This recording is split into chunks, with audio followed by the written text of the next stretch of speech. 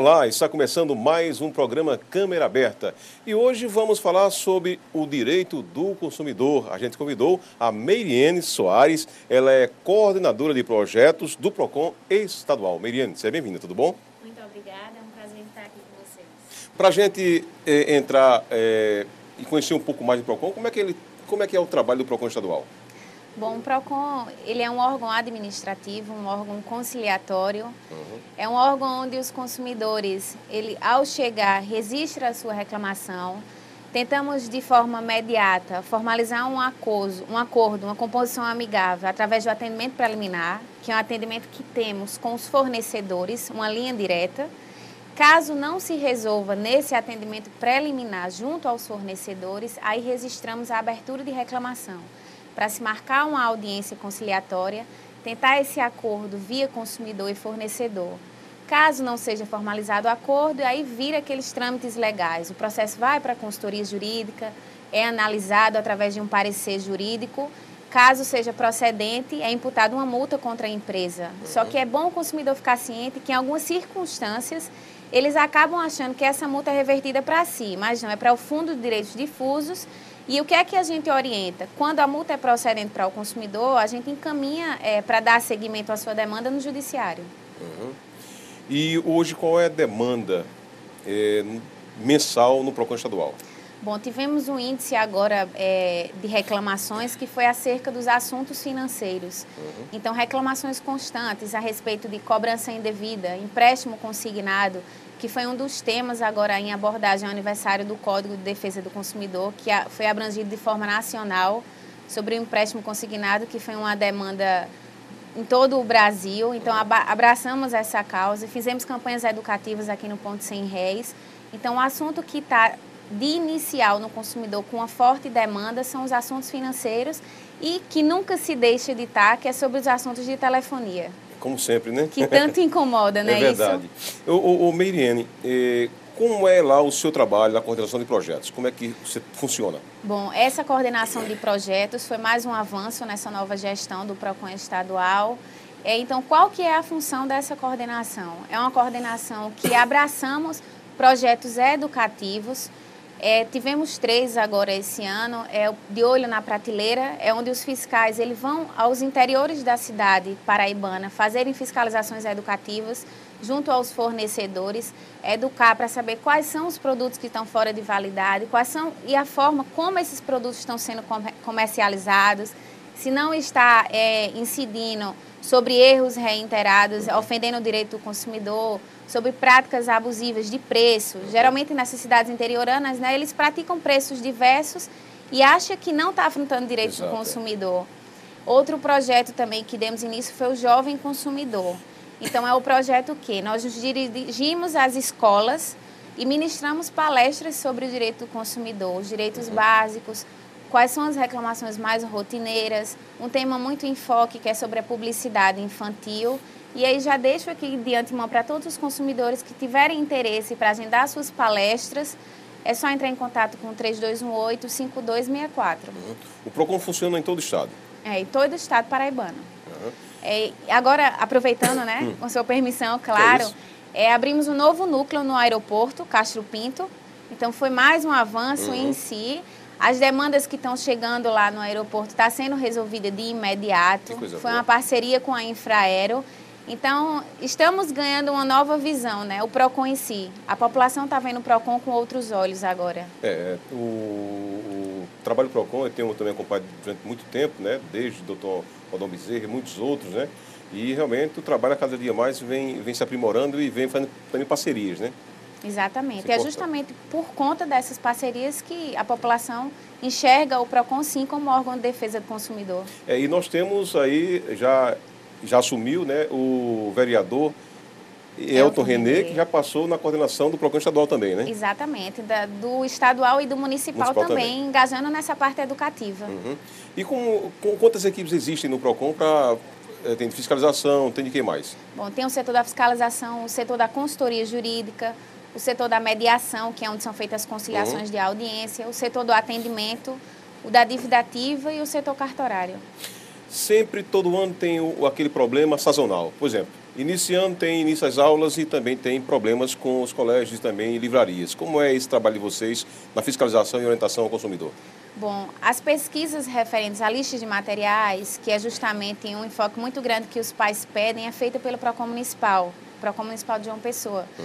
Mas, assim, quando acontece de ter alguma prática, algum material exigido que não é de uso pedagógico do aluno, hum. aí o PROCON estadual ele intervém, o fiscal se encaminha à escola. A gente vai tentar resolver de imediato para que seja retirado esse produto da lista de material. Caso não seja, é feitas as medidas cabíveis. Hum. Aproveitando o fato né, dessa lista de material, uma demanda muito grande agora nesse início de ano letivo, o que é bom os pais ficarem atentos. Hum. Geralmente nessa lista de material vem algumas solicitações, como eu já tinha dito anteriormente, que não é para uso pedagógico Papel do aluno. Papel higiênico, por exemplo. Exatamente, é para material de expediente da própria da instituição de ensino. Uhum. Então, geralmente os pais eles não ficam atentos a esses produtos, acabam comprando e que seu filho não vai utilizar. É então, acerca desses produtos, se tiverem dúvidas de utilização ou não, pode se encaminhar ao PROCON e a gente vai fazer uma verificação dessas solicitações para saber se é viável ou não. Giz, de ser, é, giz, de, giz branco para quadro, estêncil. lápis, estêncil, cartucho. O papel ofício. É também não é exigido, não pode. Não né? pode. Quer dizer, não pode dar praticamente nada, né? Exatamente, mas a escola cobra dos pais, eles não têm o conhecimento e acaba comprando, né? Isso. E como os pais devem proceder? Devem ligar para o PROCON, pedir orientação ou devem levar já a queixa para o PROCON? Eles podem, na dúvida, se pode ou não o produto, entre em contato conosco, ou até mesmo leva a lista de material que a gente encaminha a fiscalização, o fiscal dá uma analisada na lista. E se porventura, como eu já tinha dito, se tiver algum produto que não seja para uso pedagógico do aluno, a gente toma as medidas cabíveis com a escola. Para a população saber diferenciar quem é quem, o PROCON estadual faz o quê e o municipal faz o quê? Quais as suas atribuições? Bom, o PROCON municipal, a sua competência é em virtude dessa cidade em si, João Pessoa. E o PROCON da Paraíba não. Ele pode atuar nos interiores e nos conglomerados, ou seja, todas as outras cidades interioranas uhum. é, que estão dentro da, da, do estado da Paraíba. Uhum. Voltando à questão do, do, do ano letivo, quais as precauções que os pais devem tomar para não caírem é, nesses abusos na compra do material e também no colégio. Exatamente. Os pais eles devem o que de imediato, que a gente sempre é, reforça, né? Fazer as pesquisas de preço, uhum. que é uhum. primordial, porque geralmente os pais eles são é, chamados à atenção com aquelas imagens ilustrativas Exato. de liquidação. Certo. Então é isso que os pais eles devem ficar atentos a essas liquidações fazer as pesquisas de preços para saber quais são os locais mais viáveis e que não vai atingir o seu orçamento familiar, porque temos outras obrigações agora em uhum. janeiro, na né? IPTU e IPVA, outras cobranças Exato. a mais que a gente tem que ficar atento. Uhum. Então, sempre fazer a pesquisa de preço, se possível, juntar um número de, é, de pais para procurar uma determinada livraria, porque qual brasileiro que não consegue barganhar um preço, Exato. né? Isso?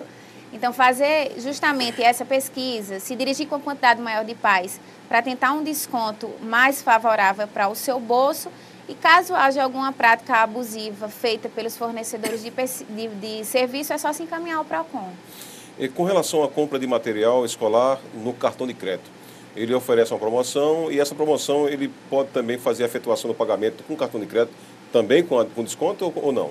Não, geralmente é uma liberalidade da empresa. Empresa.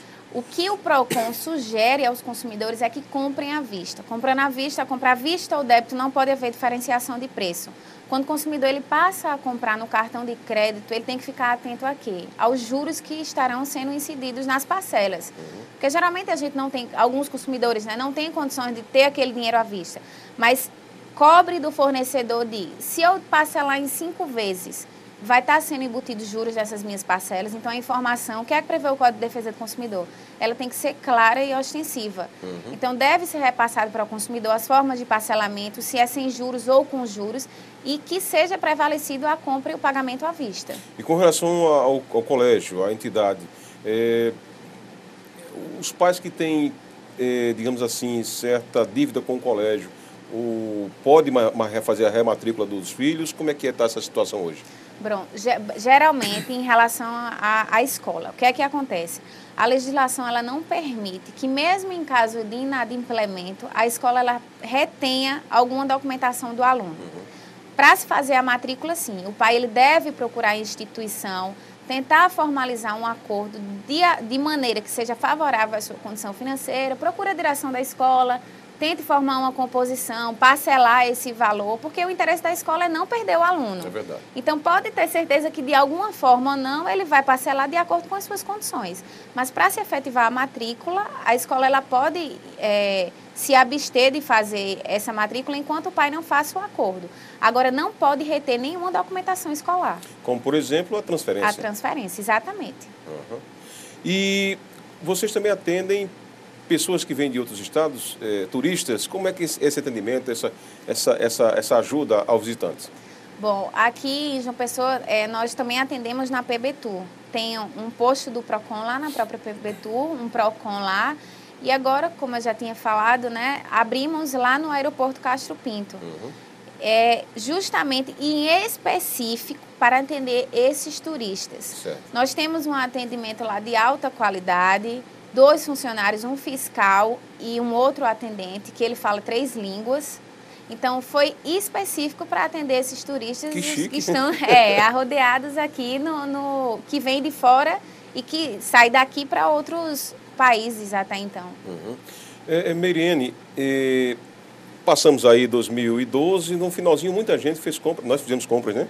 E muitas compras, mas algumas pessoas tiveram que trocar é, roupas, cigarro de presente, assim por diante. Como é esse processo para o pessoal saber mais, se, é, ficar orientado e, e, fazer essa troca? Bom, é, esse período de troca é aí que está o caos em si. E é que sim é importante o fato da informação dada ao consumidor nem sempre o consumidor acha que não é viável a gente exigir a entrega da nota fiscal. Uhum. Mas não, esse documento ele é essencial para se fazer essa troca. Ressaltando que o fornecedor ele não tem nenhuma obrigação de fazer a troca desse produto em relação a tamanho, cor. cor. Uhum. Às vezes a gente está insatisfeito com aquela blusa. Agora sim, se na nota fiscal tiver um prazo para troca específico, 24 horas, 72 horas, por escrito, hum. na nota fiscal, então a loja ela tem a obrigação de efetuar a troca. Ou, caso o produto ele apresente algum defeito de fabricação, o que é que o Código de Defesa do Consumidor ele resguarda? Caso o produto apresente defeito, o fabricante ele tem 30 dias para reparar esse defeito.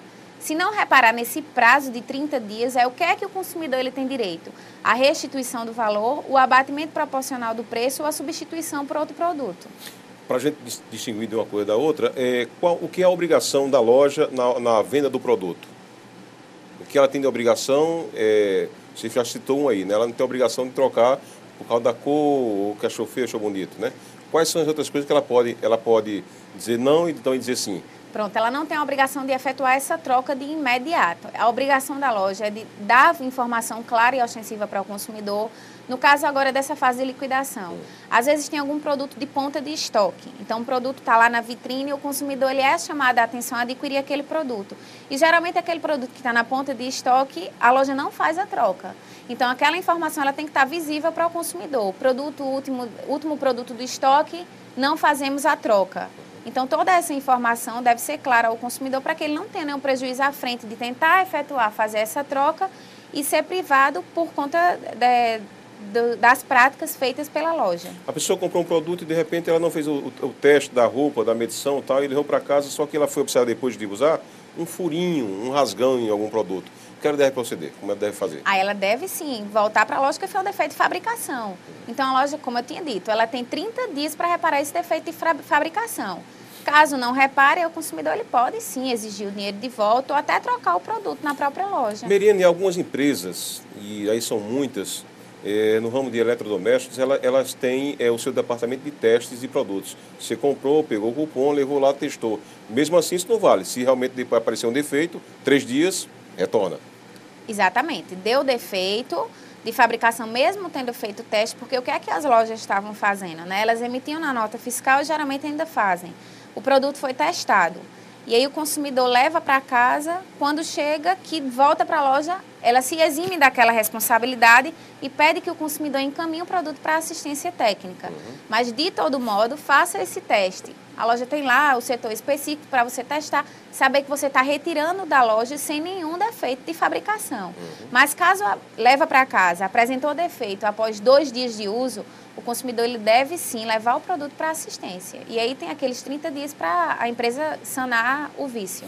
Por isso, abre a, a, a atenção na, na, hora de pegar o cupom e guardar. A né? nota fiscal é essencial para fazer qualquer troca e qualquer trâmite junto à empresa. E dá uma dica que aquele papel é, termo, termo sensor é que imprime, que é amarelinho, é, né? amarelinho, exatamente. É bom tirar xerox também, né? Exatamente.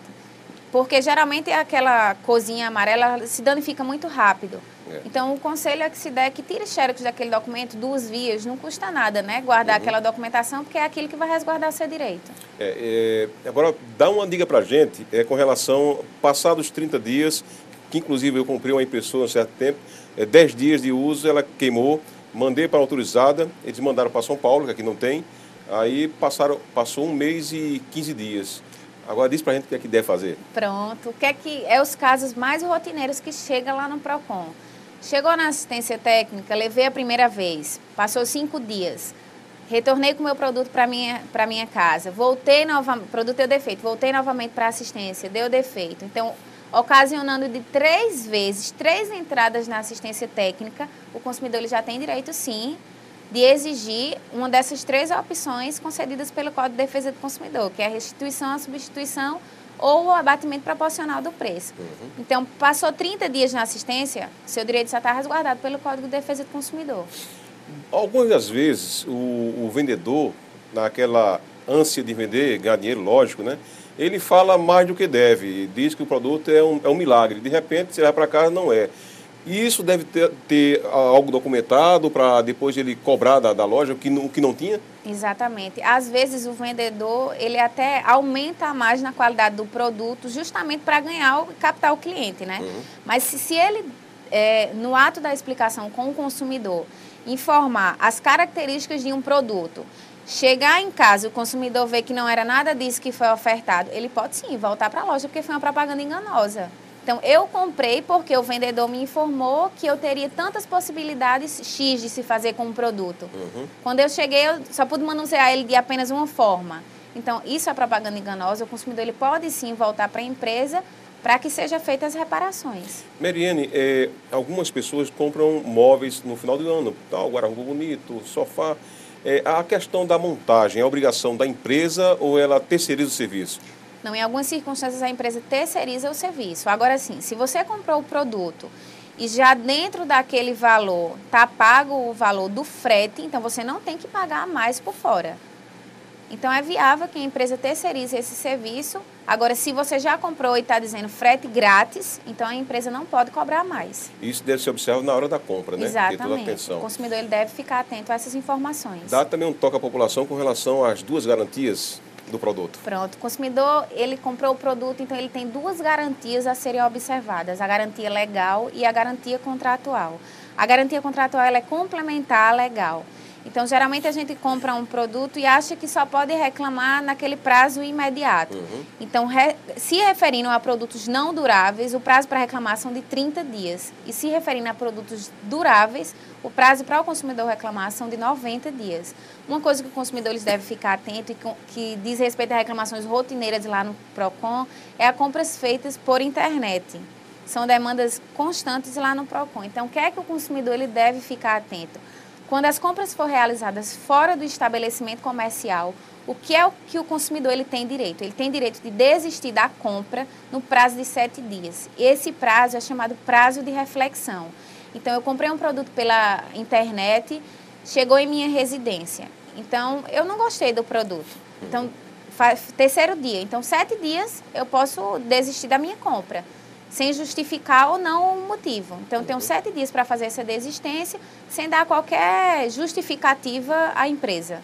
É, e só reforçando aqui o que Meiriene falou com relação às garantias, por exemplo, se a pessoa, é, no, no, no, na garantia contratual, ela tem um ano de garantia e o produto se quebrou um ano e um dia, aí esse um dia já entra na, na legal, né? Exatamente. Ou seja, ele tem um ano e um mês. Um mês. Ele soma-se a garantia legal. Uhum.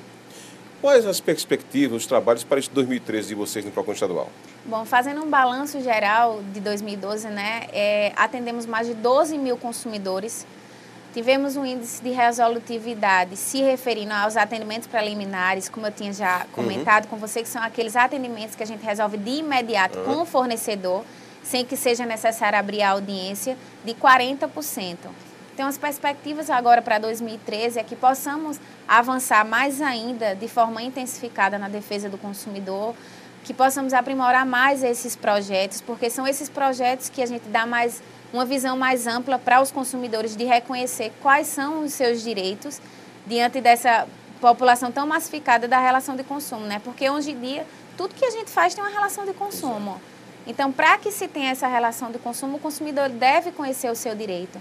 Então, é uma visão a mais que a gente pretende ter em 2013 para avançar nesses projetos, melhorar, intensificar mais a qualidade de atendimento do PROCON, porque eu digo aos estagiários lá, o consumidor, quando ele chega, ele tem um, um, cartão de visita. E o cartão de visita é a forma como ele é atendido de, de maneira inicial, Exato, né? É. Se ele chegar no consumidor e for atendido de maneira eficaz pelos estagiários, pode ter certeza que ele vai sair satisfeito, né? Uhum. Então, pronto, é justamente isso, esses avanços em relação aos projetos, intensificar as fiscalizações, resolver os conflitos de, de imediato, abraçando é, esse atendimento preliminar junto com os fornecedores para que a resolutividade ela seja cada vez mais. E é, existe um, um número para reclamação? Existe, é o telefone que pode ligar, é o 3218-5264, o 3218-6959. É, Miriane, qual é o processo de reclamação no PROCON? O cidadão se sentiu lesado, ele deve fazer o quê? O consumidor ele se sentiu lesado, ele pode se dirigir ao PROCON. Assim que ele adentrar o PROCON, ele vai se é, verificar junto com os estagiários que, são que ficam no, no SAC, que é o uhum. setor de atendimento ao consumidor, ele vai ser feito uma triagem para saber qual é o caso, se é ou não relação de consumo, porque às vezes, é, a população paraibana, até por desconhecimento mesmo, chega casos trabalhistas diversos lá, de divórcio, de tudo, achando é. que é competência do PROCON. Exato, é, é verdade. Rapaz. Então, então para que fique ciente toda a população, né? O PROCON, o cabimento para resolutividade é relações de consumo. Então, vai ser feita essa triagem para saber qual o caso do consumidor se de fato existia uma relação de consumo ali, aquele liame fornecedor, produto, serviço, consumidor, hum. A gente tenta resolver através do atendimento preliminar com o fornecedor. Se não resolver, é registrada a reclamação no SINDEC, que é o Sistema de Informação de Defesa do Consumidor, que é um sistema nacional que abrange todo o Brasil. Então a gente registra essa reclamação, marca a audiência e aí é feita a conciliação. Se não for feita a conciliação, Abre-se para 10 dias para a empresa apresentar sua defesa administrativa. Apresentou defesa, o processo sobe para a consultoria jurídica e aí se dá seguimento aos trâmites legais. No tempo de Odom Bezerra, é, ele criou aquela é a lista de empresas, lista... O ranking dos fornecedores é, mais reclamados. Como é que está hoje isso, hein? É, ainda tem esse ainda ranking. Tem, né? A gente puxa pelo SINDEC, que é justamente esse sistema que uhum. eu tinha informado antes. E a gente tem todo esse ranking, o ranking das empresas mais reclamadas, 10 empresas mais reclamadas, uhum. é, quais as, os assuntos mais reclamados. Então, todos esses dados, a população ela pode ter acesso, qualquer órgão pode ter acesso às informações, é só ir no PROCON. Uhum. Bom, é, nós temos visto por outra, né, é, nas nossas casas, aquela queda de energia elétrica, né, quase indo para o apagão. Mas, infelizmente, algumas pessoas têm os seus eletrodomésticos, eu já tive inclusive, é, danificados, queimados, pifados, como diz o outro. Qual o procedimento do cidadão lesado nesse, nesse item para ir ao PROCON? Bom, é, essas quedas de energia resultam danos aos consumidores, né? E esses danos, eles têm sim que ser reparados. Então, o consumidor que se sentir lesado em relação a essas quedas de energia, se causar algum, algum defeito no seu produto, então, ele pode se dirigir ao PROCON para a gente tentar resolver. Temos uma linha direta também com a própria Energisa. Uhum. A gente tenta resolver algum, alguns desses casos, quando ocorre queda de energia, via, via telefone mesmo. Certo. Quando não se resolve, aí a gente orienta o consumidor, quando são casos mais complexos, a gente orienta a demandar judicialmente. Uhum. Mas em algumas circunstâncias, quando são aparelhos, geladeiras, é, computadores. computadores. Em algumas situações, a Energisa vai na casa do consumidor fazer uma vistoria e se resolve lá pelo PROCON mesmo. É, né? Quer dizer que também resolve muito rápido nisso aí, né? Resolve. Em algumas demandas que não sejam tão complexas, por essa linha direta junto à Energisa, a gente tem uma resolutividade lá no PROCON mesmo. Quais são as provas do cidadão para chegar junto da PROCON? É, se no caso que se tiver alguma nota fiscal, hum. alguma documentação, qualquer documentação pertinente ao caso, o consumidor ele tira xerox da sua identidade e CPF também, e os documentos que tiverem acesso ao caso, só é, as documentações com xerox para abrir a reclamação. Uhum. Como é que está hoje a demanda de reclamações nos restaurantes, a cobrança do, do cover artístico, que pode ser cobrado, né? Exatamente. Mas não pode ser os 10% do, do, do garçom, não. né? Que não vai geralmente para o garçom, vai para o dono. Exatamente. O que é que acontece? É, nós iniciamos agora em dezembro a Operação Verão e vamos dar continuidade agora em janeiro, nas praias do Litoral Sul e aqui em, em João Pessoa também. Em dezembro, iniciamos ali na Praia do Jacaré. Uhum. E o que é que acontece a respeito do cover artístico e dessa taxa dos 10%? O cover artístico ele só pode ser cobrado se o músico ele for inscrito na ordem dos músicos e tiver o aviso amplamente divulgado na entrada do restaurante. E essa cobrança ela só pode ser feita ao final do pagamento do consumidor. Ou seja, o que é que alguns restaurantes e bares fazem? O consumidor, antes de adentrar, ele cobra a taxa, que é para condicionar a sua permanência no estabelecimento. Então, eu vou entrar sabendo que de tantas horas vai ter cover artístico, então eu vou ficar naquele local e só vou pagar ao final. Não tenho obrigação alguma de pagar antes. E quanto à taxa dos 10%? Esses 10% ele é opcional.